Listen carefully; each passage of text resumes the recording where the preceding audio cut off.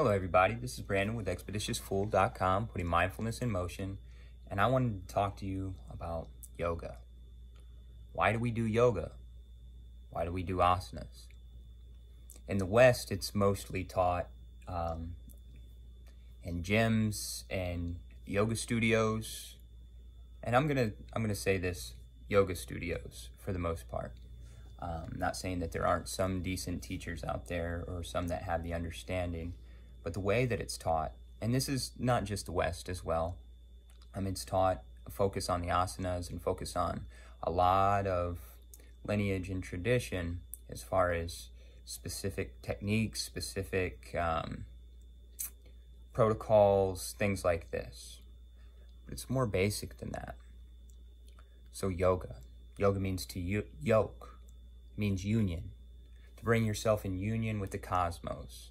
So you're in complete understanding with reality. And I mean that as in real reality, real reality, something that is real, the one thing that is real. A lot of things that we have in our day to day are assumptions. They're assumptions that we make, that we put together, that we heard from somewhere, whereas yoga is a true experience, right? Not just the asanas, that's actually the small part, and that's what I'm going to talk about. So, yoga means to actually get your consciousness in line with true reality and the way things really work, not what we've perceived in our minds by over attaching to our bodies. And I consider the mind part of that, right? Um, if these bodies evolved from one cell organisms, they're a bunch of cells put together. Um, there's even connection with the gut mind, all of that. Um, as we see and as you study further, um, and as you experience more subtleties of your body, you'll you'll see that it's really just a pile of bugs, right? So why do we do the asanas? We do the asanas that way we can develop a strong back. It's true. We can develop a strong back so we can sit down our pile of bugs that we've collected throughout the years we can sit that down and then we can really analyze and, and go deeply into the heart, the, the seat of Atman, the seat of the soul. That's the only reason we, we're supposed to be doing an asana. If you don't have this understanding or your teacher doesn't have this understanding, you're not doing yoga, you're doing stretches.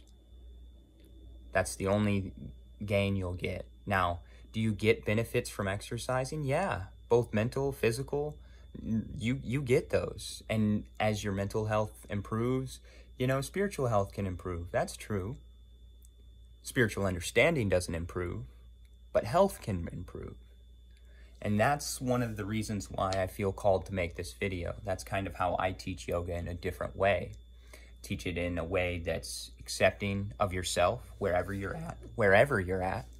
Um, you know, yes, there's asanas, but those asanas, again, without the proper understanding that the only reason you're doing it is to strengthen your body so that you can sit longer to meditate on, on the possibility of what God is, what Source is, Shiva is, Shakti is, Kundalini is, that energy that sources through us, prana. It's a way to strengthen your body in a way that you're it, it is able to focus on the prana, the pranayama, the breath, that life force that comes with the breath. It's not just the breath. That's why we do the asanas.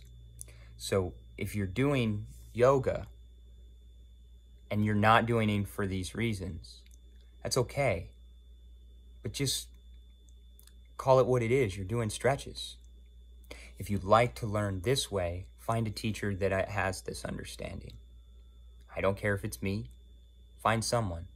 Because through daily mindfulness practice, breath work, meditation, and I'm going to say yoga, meaning, you know, both the understanding and the asanas, right?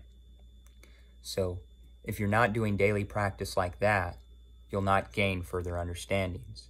And no, this isn't a religion. It doesn't matter what religion you have. Actually, this is kind of the key for all religions. And if your religion doesn't have this, it's because they took it out.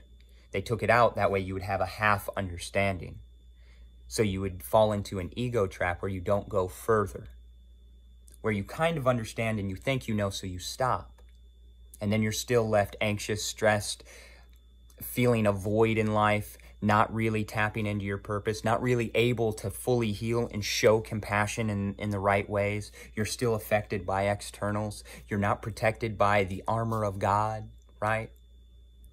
Unless you do daily your practice and you understand why you're doing your practice.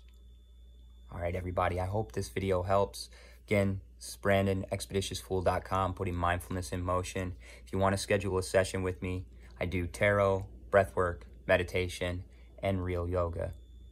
I'd love to help you out. I teach virtual sessions as well as in person.